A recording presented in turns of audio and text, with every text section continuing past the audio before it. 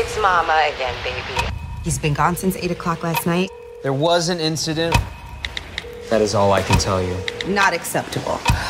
Where's our son? I have kids too. Any of them black? Excuse me? Let me start again. The world still looks at him like it looks at me. I don't know what you expect me to do. Find my son!